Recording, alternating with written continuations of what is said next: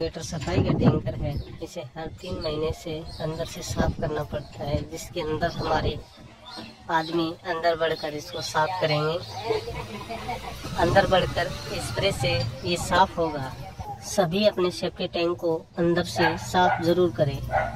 साल में चार बार ज़रूर करना चाहिए।